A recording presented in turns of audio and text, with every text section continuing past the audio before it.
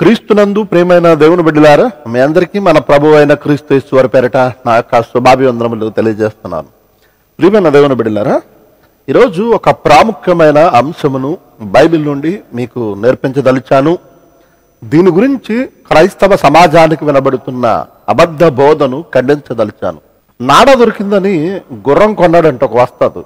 దారిని పోయే ఒక వ్యక్తికి ఆ దారిలోనే ముందెళ్ళిన గుర్రం యొక్క కాళ్ళకున్న నాడ పడిపోయి ఇతనికి దొరికిందట.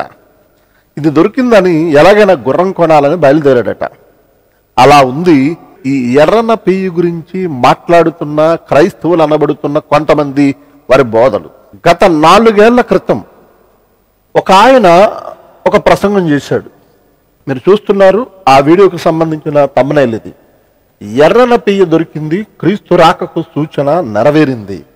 ఇది నాలుగేళ్ళ క్రితం కొండవీటి బాబురావు గారని ఈయన ఎక్కువ బైబిల్ సంగతుల కంటే బయట సంగతులు ఎక్కువ మాట్లాడుతూ ఉంటాడు. ఇంకా మనం చూడగలిగితే ఆ మూడవ మందిరానికి కావలసిన ఎర్రని పెయ్యలు ఇస్రాయిల్కి వచ్చేసావి ఈయనెవరంటే శ్రీకాంత్ నకర కంటేని ఇజ్రాయెల్ దేశంలోనే ఇజ్రాయెల్ వాసిగా స్థిరపడిపోయిన మన ఇండియా వాసి.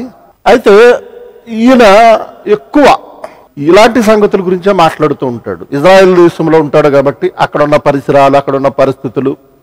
అంటే క్రైస్తవ సమాజ రక్షణ కోసం అవసరమైన సంగతుల కంటే క్రైస్తవ సమాజాన్ని బలపరిచే సంగతుల కంటే ఈ శ్రీకాంత్ నగరకంటి గారు ఈయన మీద నాకు మంచి అభిప్రాయం ఉంది. అయినా ఈయన చేసే బోధలు మరి ఈయన క్రైస్తవుడో యూదుడో నాకైతే తెలియదు ఇప్పుడు. ఆయన బోధలన్నీ కూడా నేటి క్రైస్తవ సమాజానికి వ్యతిరేకంగానే అనిపిస్తూ ఉంటాయి. త్వరలో నేను ఇజ్రాయెల్ దేశం వెళ్తాను. వెళ్ళినప్పుడు ఖచ్చితంగా ఈయనతో చర్చిస్తాను. ఆయన మాట్లాడిన ప్రతి సంగతి మీద ఒక చర్చా వేదిక నేను ఏర్పాటు చేసి అక్కడ ఉన్న పరిస్థితుల మీద బైబిల్లో ఉన్న సంగతుల మీద ఖచ్చితంగా నేను మాట్లాడదలిచాను. ఈయన నాలుగు రోజుల క్రితం ఈ వీడియో మాట్లాడాడు. మూడవ మందిరానికి కావలసిన ఎర్రని పేలు ఇస్రాయేల్కి వచ్చేసాయి ఇక ఒకరోజు గడిచింది. ఈ వీడియో లవ్ గోస్పల్ అనే యూట్యూబ్ ఛానల్ నుండి వచ్చింది. ఈయన ఎలాంటి తమిళాలు పెట్టాడంటే రెండు వేల సంవత్సరాల తర్వాత ఇన్నాళ్ళకి దొరికాయి. మూడవ దేవాలయం నిర్మాణానికి సర్వం సిద్ధం. ఇస్రాయేలు దేశానికి ఐదు ఎర్రని పెయ్యలు ఈయన ఎక్కువ మనిషి కనపడ్డ కానీ ఆ ఛానల్ నుండి వచ్చే అనేకమైన ప్రసంగాలలో వీళ్ళు బైబిల్లో ఉన్న సంగతుల కంటే బయట సంగతులే ఎక్కువ ఇంటర్నెట్లో అక్కడెక్కడ సమాచారం సేకరించి తమ టాలెంట్ను ప్రదర్శిస్తుంటారు క్రైస్తవ్యం ముందు. వీళ్ళ వీడియోస్ చూస్తే మరి చూసేవారి సంఖ్య వేలకు వేలు ఉంటుంది. మరి అందుకోసం ఎవరు చెప్పని సంగతి ఏదో క్రొత్త సంగతి చెప్పాలని వీళ్ళు ఊవిళ్ళు ఊరుతారేమో నాకైతే తెలియదు కానీ మేము ఇన్ని వేల మందికి దేవుని వాక్యం చెప్పేస్తున్నామని అనుకుంటారేమో తెలియదు కానీ అన్ని వేల మందిని అసత్యంలో నడిపిస్తున్నారని ఖచ్చితంగా చెబుతాను. రెండు వేల సంవత్సరాల తర్వాత మూడవ దేవాలయం నిర్మాణానికి సర్వం సిద్ధం. ఇజ్రాయేలు దేశానికి ఐదు ఎర్రని పెయ్యలు. ఇతని వివరణ అయితే మామూలుగా కాదు. అసలు ఇది వింటే అమ్మో నిజమేనేమో. అసలు నిజం ఖచ్చితంగా నమ్మేయాలన్నట్టు ఉంటాయి ఇతని బోధలు. మనిషి మాత్రం కనపడ్డు బ్యాక్గ్రౌండ్లో ఉండి మాట్లాడుతుంటాడు. స్క్రిప్ట్ రాసుకుని ముందే చదివి చక్కగా రెడీ చేసుకుంటాడు వీడియో. ఇది రెండు వేల సంవత్సరాల తర్వాత ఎర్రన్న పెయ్యలు దొరికాయి అని ఇతను అంటున్నాడు కదా నాలుగు దొరికాయి అని. మరి బాబురావు గారు నాలుగు ఏళ్ళ క్రితమే మీరు ఆయన యూట్యూబ్ ఛానల్లో చూడొచ్చు నాలుగు సంవత్సరాల క్రితమే ఈ వీడియో మాట్లాడాడు. ఎర్రన పెయ్య దొరికింది క్రీస్తు రాకకు ఒక సూచన నెరవేరింది. దేవుని బిడ్డలారా వీళ్ళ బోధలు వింటుంటే వీళ్ళు క్రైస్తవులా లేక ఇస్రాయేలీలను సమర్థించే పరోక్ష యూదులా అన్నదే నాకు అర్థం కాదు. క్రైస్తవ సమాజానికి వీళ్ళ ప్రసంగాలు చేస్తూ ఉంటారు క్రీస్తును నమ్మని ఇంకా మారని ఆ యూదులు ఇస్రాయేలీలు అనబడిన ఇప్పుడు ప్రజెంట్ ఇజ్రాయెల్ దేశంలో ఉన్న వారి కోసం మాట్లాడుతూ వాళ్ళను పొగుడుతూ వాళ్ళ చేసే పనులను కొనియాడుతూ ఉంటారు. మరి వీళ్ళని క్రైస్తవులు అనాలో లేకపోతే ముసుగేసుకున్న యూదులు అనాలో నాకైతే తెలియదు ఎందుకు ఈ సంగతులను నేను చెప్పదలిచానంటే అసలు రాయబడిన సందర్భాలు పాత నిబంధన గ్రంథంలో కానీ క్రొత్త నిబంధన గ్రంథంలో కానీ రాయబడిన సందర్భాలు ఏ కాలానికి ఎప్పటి వరకు ఎవరికి ఎవరు చెప్పారు ఎవరి ద్వారా ఇవ్వబడ్డాయి అన్న ఆ సందర్భాలు వీళ్ళు ఆలోచిస్తారో లేదో నాకైతే తెలియదు కానీ భయంకరంగా ఎప్పుడో సంగతులు ఇప్పుడు ముడిపెడుతూ ఇప్పుడు సంగతులు ఎప్పటికో ముడిపెడుతూ వీళ్ళకి తప్ప బైబిల్ ఎవరికి తెలియదు అన్నట్టుగా వీళ్ళ బోధలు ఉంటాయి. వీటిని చూసి అనేకులు మోసపోతూ ఉంటారు. అసలు ఈ ఎర్రన పెయ్యకు క్రీస్తు రాకడకు సంబంధం ఏంటి? ఈ బాబురావు గారు మాట్లాడుతూ ఏం మాట్లాడుతున్నారు? ఆయన వీడియోలోని సందర్భాన్ని నేను మీకు వివరిస్తాను. ఒక్కసారి చూడండి. దొరికిందండి. ఎర్రని పెయ్య. దీని వృత్తాంతం ఏంటంటే ఇది దొరికితే క్రీస్తు రాకడు ఖచ్చితంగా ఒక బలమైన గుర్తు నెరవేర్చబడినట్టే. ఇది దొరికితే క్రీస్తు రాకడకు ఒక బలమైన గుర్తు నెరవేర్చబడినట్టేనట. ఇది నాలుగేళ్ళ క్రితం మాట్లాడిన సందర్భం ఇది. ఆ లవ్ గాస్పల్ యూట్యూబ్ ఛానల్ అతనేమో ఇదిగో ఇప్పుడు దొరికాయి రెండు వేల సంవత్సరాల తర్వాత ఇప్పుడు ఇజ్రాయెల్ దేశానికి తీసుకొచ్చారని శ్రీకాంత్ నగరకంటి గారు ఈ లవ్ గాస్పల్ సంబంధించిన వ్యక్తి వాళ్ళు అలా మాట్లాడుతారు. ఈయనేమో నాలుగేళ్ళ క్రితమే. క్రీస్తు రాకడికి బలమైన ఒక గుర్తు నెరవేర్చబడినట్టేనట. అంటే ఎలాగా మాట్లాడతారంటే మరి వీళ్ళకి ఏదో దేవుడు బయలుపరిచి దీని వృత్తాంతం ఏంటంటే ఇది దొరికితే క్రీస్తు రాకడు ఖచ్చితంగా ఒక బలమైన గుర్తు నెరవేర్చబడినట్టే. ఈ మధ్య ఇజ్రాయెల్ దేశంలో హైఫా అనేటువంటి పట్టణంలో ఎర్రనిపెయ్య రెడ్ హైఫర్ దొరికింది. సో ఈ రెడ్ హైఫర్ దొ- దొరికినప్పుడు ఇప్పుడు దాన్ని దాచిపెట్టారు. ఈలోపు పాప పరిహార ఆ యొక్క బాక్సులు బూడిద బాక్సులు దొరకకపోయినా మనుషులే మదన కట్టకపోయినా ఈ రెడ్ హైఫర్ చచ్చిపోయింది అనుకోండి. మరొక రెడ్ హైఫర్ పుట్టొచ్చు. దేవుడు పుట్టిస్తాడు. చాలా రెడ్ హైఫర్లు ఈ మధ్య పుట్టినాయి అక్కడ కానీ వాటి మీద తెల్ల ఉన్నాయి.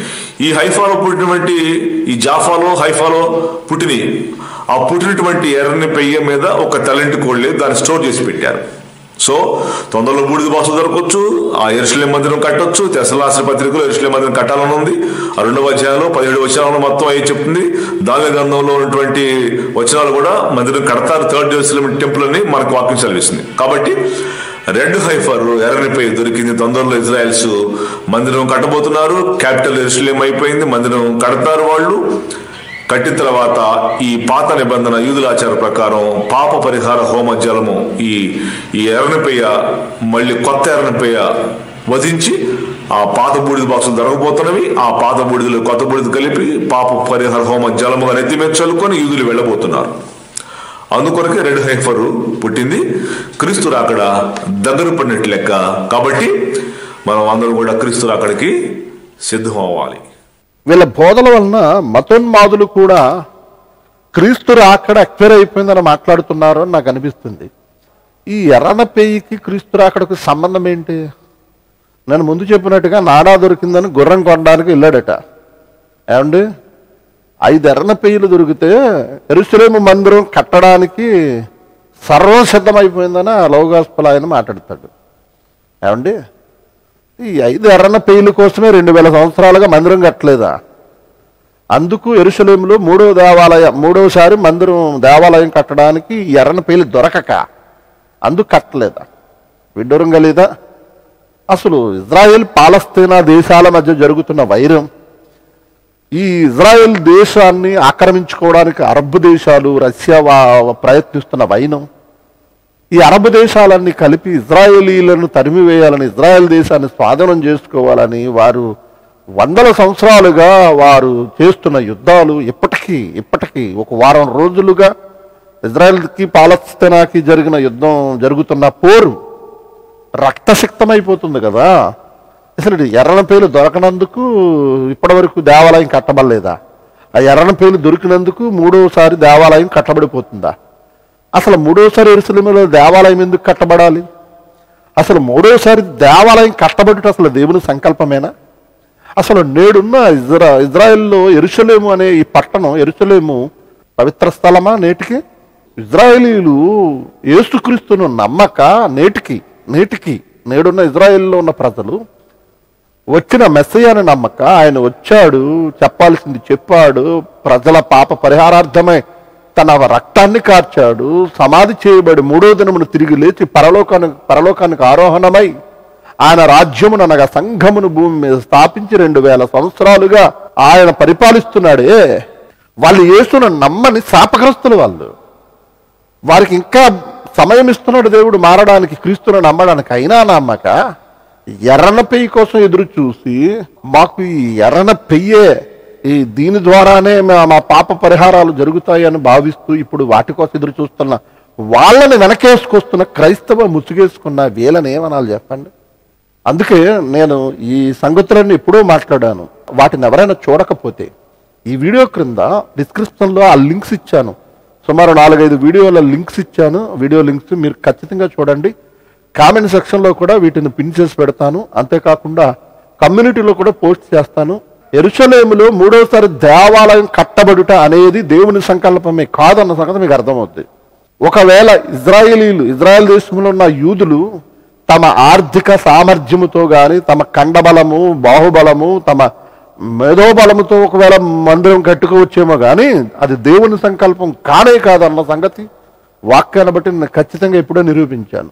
దేవుని బిడ్డారా ఈ సంగతులు ఇప్పుడు ఎందుకు చెప్తున్నానంటే క్రైస్తవ సమాజాన్ని కలుషితం చేసేస్తున్న కొన్ని బోధలు క్రైస్తవ్యానికి సంబంధం లేని యోధ ప్రసంగాలు యోధ మతానికి సంబంధించిన సందేశాలు ప్రజల మధ్యకు తీసుకువచ్చి క్రైస్తవ్యాన్ని నిర్వీర్యం చేయాలని ఒకవేళ వాళ్ళకి తెలియకుండానే ప్రయత్నిస్తున్నారేమో నాకైతే తెలియదు కానీ అసలు ఎరణపేయికి క్రీస్తు రాకుడికి సంబంధం ఏంటి? ఎరణపేయి దొరికిందని వారు ఎరుసలేములో మందిరం కట్టుకోదలుచుకుంటే ఆ మన్- మూడో మందిరం కట్టబడడానికి క్రీస్తు రాకడకు సంబంధం ఏంటి? ఏమంటారంటే ఆ మూడో మందిరం ఎందుకు కట్టబడుతుందట? ఈయన బాబురావు గారు మాట్లాడుతూ మూడో మందిరం కట్టబడాలని తెసలోనికలకు రాసిన రెండో పత్రికలోను అలాగే దారిల గ్రంథంలో కూడా ప్రాపర్షి ఉంది. అందుకోసం మూడో మందిరం అనేది కట్టబడుతుంది. ఆ మూడో మందిరం కట్టబడిన తర్వాత క్రీస్తు విరోధి వచ్చి కూర్చుంటాడు. క్రీస్తు విరోధి వచ్చి కూర్చున్నప్పుడు ఈ క్రీస్తు రాకడ వస్తుందని ఈ- మాట్లాడే వాళ్ళు ఇప్పుడు ఎవరైతే ముగ్గురు వీడియోలు తమనైలు చూపించానో వారి ఉద్దేశం. కానీ యూదుల ఉద్దేశం ఏంటో తెలుసా? మెస్సియా రెండోసారి వస్తాడని వాళ్ళు ఎదురు చూడడం లేదు. వాళ్ళు మూడో మందిరం కట్టుకుంటారు మోసే ధర్మశాస్త్రం ప్రకారంగా వారి కార్యక్రమాలన్నీ చేసుకుంటారు ఆ తర్వాత వీళ్ళని పరిపాలించబోయే రాజు పుడతాడట. మెస్సియా రెండోసారి వస్తాడని మనము ఎదురు చూస్తున్నాము యేసుక్రీస్తు రాకడా కొరకు మనం ఎదురు చూస్తున్నాము యూదులు మాత్రం క్రీస్తు రాకడ కొరకు ఎదురు చూడడం లేదు. మెస్సయ్య పుడతాడని ఎదురు చూస్తున్నారు. పుట్టిన మెస్సయ్యను నమ్మక రెండు వేల సంవత్సరాలుగా శాపగ్రస్తులుగా అపవిత్రులుగా ఇంకా దేవుని సంకల్పంలో లేని ఈ యూదులు ఇప్పుడు పిలువబడుతున్న యూదులు అసలు నేడున్న క్రొత్త నిబంధన ప్రకారంగా నేడున్న బైబిల్ లా ప్రకారంగా అసలు యూదుడని గ్రీసు దేశస్థుడని దాసుడని స్వతంత్రుడని స్త్రీ అని పురుషుడని లేదు. క్రీస్తు యేసులోనికి బాప్తిసం పొందిన వారందరూ క్రీస్తును ధరించుకున్నారు. క్రీస్తు క్రైస్తవుడని పిలువబడాలి. క్రైస్తవుడు అన్యుడు క్రైస్తవుడు క్రైస్తవేతరుడు అంతే. యూదుడని ఇంకా పిలువబడుతున్నారంటే వాళ్ళు దేవుని సంకల్పంలో లేనివారు. మిగిలిన అన్య జనాంగాలు లెక్కే. ప్రస్తుతం ఇజ్రాయెల్ దేశంలో ఉన్న యూదులు. వీళ్ళు క్రీస్తును నమ్మాలి. ఇప్పుడు ఈరోజు మతోన్మాదులందరూ సమాజంలో ఉన్న కొంతమంది క్రీస్తు విరోధులు కానీ నాస్తికులు కానీ మాట్లాడుతున్నది ఏంటి తెలుసా? క్రీస్తు పుట్టిన దేశంలోనే క్రీస్తును నమ్మలేదు మీరేంటి మాకు చెప్తారు అంటున్నారు. అంటే ఇంత అపవాదికి కారకులు ఎవరనుకున్నారు ఇప్పుడున్న ఇజ్రాయెల్ దేశంలో ఉన్న యూదులే. వాళ్ళు వచ్చిన యేసును నమ్మక యేసు రెండో రాకడలో వస్తాడని ఎదురు చూడక ఇంకా ధర్మశాస్త్ర ప్రకారంగానే బ్రతకాలి బ్రతుకుతున్నామనే భ్రమలో వాళ్ళ కాలం వెళ్ళబుచ్చుతున్నారు. అందుకే దేవుని వాక్యముల నుంచి మీకు నేర్పించదలిచాను దేవుని బిడ్డలారా. ఒకసారి అసలు ఎర్రనపే సందర్భం ఏంటి? అసలు దీనికి క్రీస్తురాకడికి సంబంధం ఏంటి? దీనికి మూడో మందిరం కట్టబడడానికి సంబంధం ఏంటి? అసలు వాళ్ళు మూడో మందిరం కట్టుకోవడానికి క్రీస్తు రాకడికి అసలు సంబంధం ఏంటి? ఇలాంటి విషయాలు కొద్ది నిమిషాలు మనం నేర్చుకుందాం. సంఖ్యాకాండము పంతొమ్మిదో అధ్యాయంలో ఈ ఎర్రనపేయ సందర్భం అనేది మనకు కనబడుతుంది. సంఖ్యాకాండము పంతొమ్మిదవ అధ్యాయము మొదటి వచ్చిన నుంచి చదువుతున్నాను జాగ్రత్తగా వినండి. యెహోవా మోసే ఆహారణులకు ఇలాగూ సెలవిచ్చాను. యెహోవా ఆజ్ఞాపించిన ధర్మశాస్త్ర విధి ఏదనగా? ఇస్రాయేలీలు కలంకము లేనిదియును మత్త లేనిదియును ఎప్పుడును కాడిమోయనిదియునైనా ఎర్రని పెయ్యను నీ యొద్దకు తీసుకుని రావాలనని వారితో చెప్పుము. మీరు యాజకుడైన ఎలియాజరకు దానిని అప్పగింపవలను. ఒకడు పాలెమ వెలుపలికి దాని తోలుకొని పోయి అతని ఎదుట దానిని వధింపవలను. యాజకుడైన ఎలియాజరు దాని రక్తములోనిది కొంచెము వ్రేలుతో తీసి ప్రత్యక్షపు గుడారం ఎదుట ఆ రక్తములో కొంచెము ఏడు మార్లు ప్రోక్షింపవలను. అతని కన్నుల ఎదుట ఒకడు ఆ పెయ్యను దహింపవలెను. దాని చర్మమును మాంసమును రక్తమును పేడయు దహింపవలెను. మరియు ఆ యాజకుడు ఎవరు ఆ యాజకుడు? ఎలియాజరు. దేవదారు కర్రను ఇచ్చోపును రక్తవర్ణపు నూలును తీసుకొని ఆ పెయ్యను కాల్చుచున్న అగ్నిలో వాటిని వేయవలెను. అప్పుడు ఆ యాజకుడు తన బట్టలు ఉదుకుకొని నెలతో శిరస్నానము చేసిన తరువాత పాలెములో ప్రవేశించి సాయంకాలము వరకు అపవిత్రుడై ఉండును. దాని దహించిన వాడు నేలతో తన బట్టలు ఉదుకుకొని నేలతో శిరస్నానము చేసి సాయంకాలం వరకు అపవిత్రుడై ఉండును. మరియు పవిత్రుడైన ఒకడు ఆ పేయ యొక్క భస్మమును పోగు చేసి పాలెము వెలుపులను పవిత్ర స్థలమందు ఉంచవలను. పాప పరిహార జలముగా ఇస్రాయేలీల సమాజమునకు దానిని భద్రము చేయవలను. అది పాప పరిహారార్థ బలి. ఆ పేయ యొక్క భస్మమును అనగా బూడిదను పోగు చేసినవాడు తన బట్టలు దుక్కుని సాయంకాలము వరకు అపవిత్రుడై ఉండును. ఇది ఇస్రాయేలీలకును వారిలో నివసించు పరదేశులకును నిత్యమైన కట్టడా. దేవుని బిడ్డలారా చదవబడిన ఈ వాక్య భాగం చూడగలిగితే ఎవరి కొరకు ఇది? ఎవరికి దేవుడు చెబుతున్నాడు? ఎప్పటి వరకు ఇది కట్టడా? ఇలా ఆలోచిస్తే ఈ లోకంలో మెస్సయ పుట్టేంత వరకు వర్తించే వచనం ఇది క్రీస్తు అంటే మెస్సే ఈ లోకంలో పుట్టిన తర్వాత ఆయన రాజ్యము స్థాపించబడిన తర్వాత అనగా సంఘము స్థాపించబడిన తర్వాత ఆయనను మెస్సియాగా అంగీకరించి ఆయన ఏలికలో క్రైస్తవులుగా క్రీస్తు ఆధీనంలో బ్రతకవలసిన యూదులు నేటికి క్రీస్తును నమ్మని వారిగా మూర్ఖులుగా మార్పు లేని వారిగా ఉండిపోయారు. పలానా ఇలియాజర్ యొక్క ఆధ్వర్యములో ఇది జరగాలి అని చెప్పి ఆ ఎర్రనప్పి యొక్క ఆ భస్మమును ఇస్రాయిలీ సమాజం అంతటి కొరకు దాచి పాప పరిహారార్థ బలి అంటే జలములో కలిపి మరి హోమ జలము లేదా పాప పరిహారార్థ పరిశుద్ధ జలముగా వాళ్ళ మీద పాపం చేసిన వారి మీద చల్లడం అనే ఈ నియమం అనేది క్రీస్తు ఈ లోకంలో పుట్టేంత వరకు అనుసరించవలసిన కట్టడ. లేవి గోత్రానికి సంబంధించిన యాజకులతో పని లేదే మనకి. యేసుక్రీస్తు లేవి గోత్రంలో పుట్టినవాడి కాదే. పౌలు లేవి గోత్రంలో పుట్టినవాడే కాదే.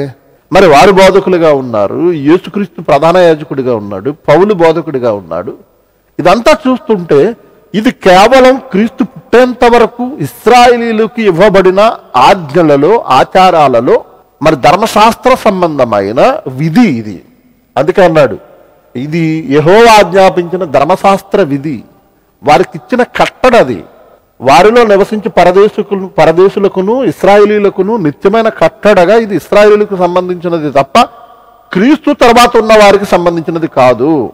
అలాగని మరి ఇప్పుడు ఇజ్రాయెల్ దేశంలో ఉన్న యూదులు ఉన్నారు కదండి అంటే వాళ్ళు యూదులుగా ఉండడానికి దేవుడు అవకాశం ఇవ్వలేదు. వాళ్ళు క్రైస్తవులుగా మారిపోవాలి. క్రీస్తుని నమ్మి క్రీస్తుని వెంబడించాలి లేదా క్రైస్తవేతలుగానే ఉండిపోతారు. అప్పటికి ఈ సందర్భాన్ని పురస్కరించుకుని వారికి దేవుడు ఏం చెప్పాడు? ఎర్రనప్పేను వధించిన తర్వాత దానిని దాని మాంసము పేడ దాని చర్మము వాటన్నిటిని భస్మము చేసి ఆ బూడిదను భద్రపరచమన్నాడు. అంటే తరతరాల వరకు ఆ ఎర్రని పేయ అనగానే మరి మరి పెద్దది కదండి. గొర్రె కంటే మేక కంటే మరి పెద్ద జంతువు కాబట్టి పెద్ద పశువు కాబట్టి దాని బూడిద ఎక్కువ వస్తుంది కాబట్టి దాన్ని భద్రం చేసి పాప పరిహారార్థ ఆ బలిగా మరి పవిత్రుడు ఒకడు ఆ పేయ యొక్క భస్మమును పోగు చేసి పాలెం వెలుపల పవిత్ర స్థలమందు ఉంచవలను. పాప పరిహార జలముగా ఇస్రాయలీలు సమాజమునకు దానిని భద్రము చేయవలను. ఈ భస్మము ఈ బూడిదను నీటిలో కలిపి ఇస్రాయలీల సమాజం ఒకరికి ఎవరైతే పాపం చేస్తారో పాప పరిహారార్థ బలి చెల్లిస్తారో వాళ్ళ వాళ్ళ మీద చల్లడానికి అప్పుడు వారి పాపం పరిహరింపబడుతుంది అని చెప్పడానికి దేవుడు ఆనాడు వారికి విధించిన కట్టడ. ఇంతవరకు మీకు అర్థమైందని నేను అనుకుంటున్నాను. మరి ఇప్పుడు ఎవరైనా పాపం చేస్తే పాప పరిహారార్థ బలి ఇలా జంతువుల్ని మేకల్ని కోడెల్ని బలిచ్చే ఆ పరిస్థితి ఆజ్ఞ ఇప్పుడు ఉందా మనకి? ఉందా క్రొత్త నిబంధన ప్రకారంగా? మనుషులందరి పాపాల నిమిత్తం క్రీస్తు రక్తము చిందింపబడలేదా? దీనికి సంబంధించి హెబ్రిల్కి రాసిన పత్రికలో అపోస్త్రుని పౌలు గారు మాట్లాడుతూ హెబ్రిల్కి రాసిన పత్రిక తొమ్మిదవ అధ్యాయము పదకొండు నుంచి చూడగలిగితే దేవుని బిడ్డలారా నేను చదువుతున్నాను. ఎబ్రిల్ రాసిన పత్రిక తొమ్మిదవ అధ్యాయము పదకొండవ వచనం నుండి. అయితే క్రీస్తు రాబోచున్న మేలుల విషయమై ప్రధాన యాజకుడిగా వచ్చి తారే నిత్యమైన విమోచన సంపాదించి హస్తకృతము కానిది అనగా ఈ సృష్టి సంబంధము కానిదియు మరి ఘనమైనదియు పరిపూర్ణమైనదియు నైన గుడారము ద్వారా మేకల యొక్కయు కోడెల యొక్కయు రక్తముతో కాక తన స్వరక్తముతో ఒక్కసారే పరిశుద్ధ స్థలములో ప్రవేశించెను. ఏలయనగా మేకల యొక్కయు ఎడ్ల యొక్కయు రక్తమును మైలపడిన వారి మీద ఆవుదోడ బూడిద చల్లుటయు శరీర శుద్ధి కలిగినట్లు వారిని పరిశుద్ధపరిచిన ఎడల నిత్యుడగు ఆత్మ ద్వారా తన్ను తాను దేవునికి నిర్దోషిని అర్పించుకున్న క్రీస్తు యొక్క రక్తము క్రీస్తు యొక్క రక్తము నిర్జీవ క్రియలను విడిచి జీవము గల దేవుని సేవించుటకు మీ మనస్సాక్షిని ఎంతో ఎక్కువగా శుద్ధి చేయను. ఆ గొర్రెల యొక్కయు మేకల యొక్కయు ఆ రక్తము లేదా ఆవు దూడ బూడిద చల్లి మైలుపడిన వారి మీద చల్లిన ఎడల దాని వలన కంటే క్రీస్తు రక్తము వలన మనస్సాక్షి ఇంకా వారి శరీర సంబంధమైన శుద్ధి మాత్రమే అది. క్రీస్తు రక్తము శరీర ఆత్మలను పరిశుద్ధపరిచే ఒక గొప్ప ఔషధంగా దేవుడు పాప పరిహారార్థము నిమిత్తము క్రీస్తు రక్తమును ఆయన చిందించడం జరిగింది. పదిహేను వచనం.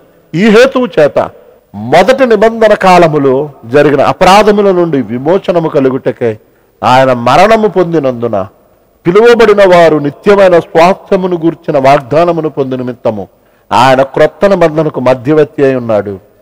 ధర్మశాస్త్ర ప్రకారము మోసే ప్రతి ఆజ్ఞను ప్రజలతో చెప్పిన తర్వాత ఆయన నీళ్ళతోనూ రక్తవర్ణం గల గొర్రెబుచ్చుతోనూ హిస్సోపుతోనూ కోడెల యొక్క మేకల యొక్క రక్తమును తీసుకుని దేవుడు మీ కొరకు విధించిన నిబంధన రక్తం ఇదే అని చెప్పుచు గ్రంథము మీదను ప్రజలందరి మీదను ప్రోక్షించెను.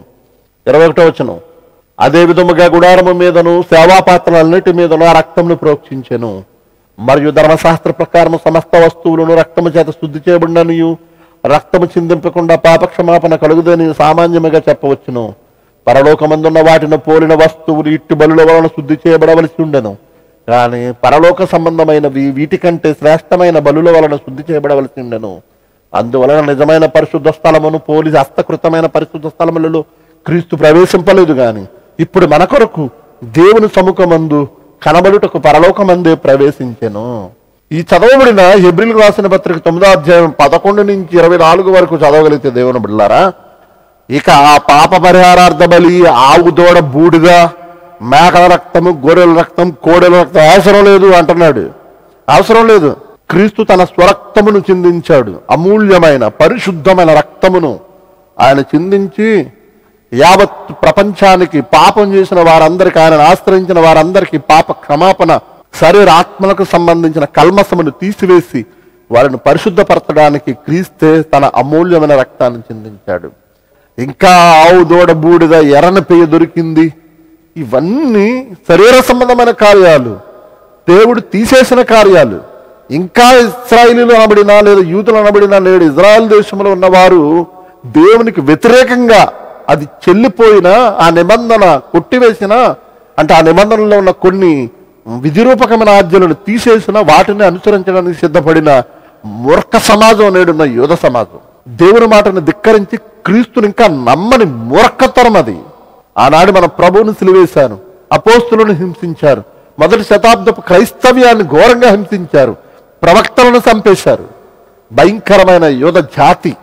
అలాంటి వారికి ఏదో ఎర్రన దొరికితే మూడో మందిరానికి సర్వం సిద్ధం అంటూ వీళ్ళు క్రైస్తవులు అనబడిన వీళ్ళు వీళ్ళ ప్రసంగాల ద్వారా క్రైస్తవ్యాన్ని చెడగొడతారా? మూడో మందిరం కట్టబడుతుందని అసలు బైబిల్లో ఎక్కడ రాయబడింది? ఆ యూదులు వాళ్ళ పంతం కోసం క్రీస్తుని నమ్మక ఇంకా దేవాలయం కోసం కట్టుకోవాలని వాళ్ళు ప్రయత్నిస్తున్నారేమో. కానీ అది దేవుని సంకల్పం కాదే. మరి క్రీస్తు రాకడ సంభవించాలంటే మూడో మందిరం కట్టబడాలి. ఎవరు చెప్పారు? దశలోనికలకు రాసిన రెండవ పత్రికలో రెండవ అధ్యాయంలో మూడో మందిరం కట్టబడుతుందని ఆ బాబురావు గారు చెప్పినట్టుందా? చూద్దామా ఒకసారి.